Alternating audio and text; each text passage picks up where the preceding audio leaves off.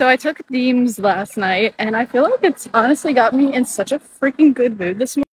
It really is a struggle to want to meditate as soon as I wake up, but I did it immediately this morning, and I feel really good about that realized I was truly the only one holding myself back from doing that immediately in the morning. Like, I know that sounds obvious, but also, like, I felt like I was suffering before, and now I'm like, I know this is beneficial for me, so I'm going to do it because I love myself and I want to give myself that self love because self love and gratitude are the two closest things to source.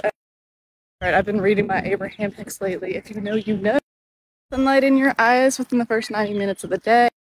Definitely trying to start my mornings off slower. Like Drake said, I start my morning slow, so pajamas when I wake up.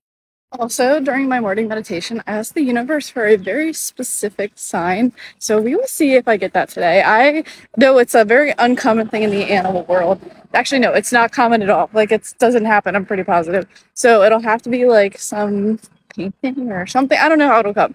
I asked the universe to just send it to me, and it'll come into it, to me in an ex- unexpected way, because that's what the meditation said, that's what I claimed. So I'll let you guys know if I see it today.